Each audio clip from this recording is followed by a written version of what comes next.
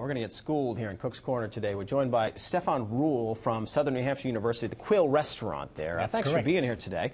So we're making shepherd's pie today with a little bit of a twist, right? With a little bit of a twist, we take the meat part out. So we You just do that? It, yes, you can do. We make a vegetarian shepherd's pie. Okay. And it's for all the people who like vegetarian meals. It's a different Yep. version to have it and to eat it. And when they come to our restaurant, we usually at least one of the items on our menu is a vegetarian item. For folks who don't know, by the way, that you have a restaurant at the school where the public can come in and eat, right? Yes, that's correct. You can come to eat, and we're serving lunch um, Tuesdays, Wednesdays, and no Tuesdays, Thursdays, and Fridays from Yeah. 11:30 to about one, and dinners from about 6 p.m. to 9 p.m. on Wednesday and Thursday nights. I got to tell you, I haven't been in a while, but this is a really neat experience. The students cook the food up. It's a great deal. Lots It of is. courses. and it's food. delicious. And you got to show windows, you can actually see the student running around, getting a little nervous when the dinner starts.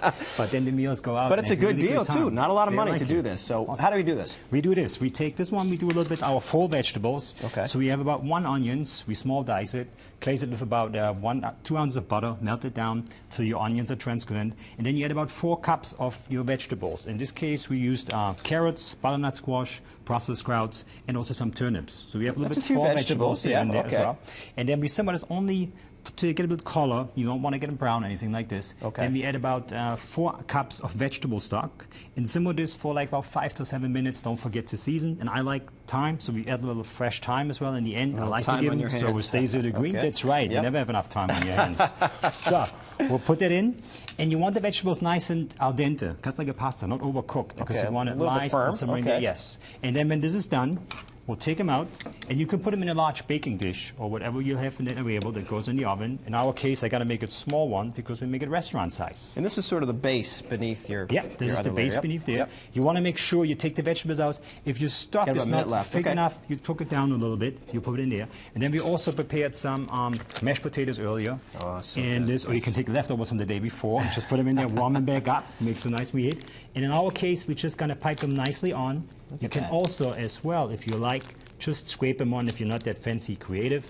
Or you invite one of our students to your house, and they may help you with that. How about Will they do that for you? To be fancy and creative right at your house. Look at that. I love that. And then this goes in the oven for about 20 to 25 minutes at 350 degrees, and it And then you like the the final completed product right there. Vegetarian shepherd's pie. Didn't even know you could do that. Uh, if people want information about going over there and checking out, how do they do that? Um, the menus are available at SNHU-restaurant, or you can also call at 629-4608, and you can get make reservations and also get all information about the menus running because the menus are changing every week. Check out the menus. Really neat experience. Stefan Ryll, a professor over at Southern New Hampshire University Hospitality School. Thank you for being here today. Thank you very Neat much for stuff. having Thank you. And check it out. Neat restaurant. We'll be right back.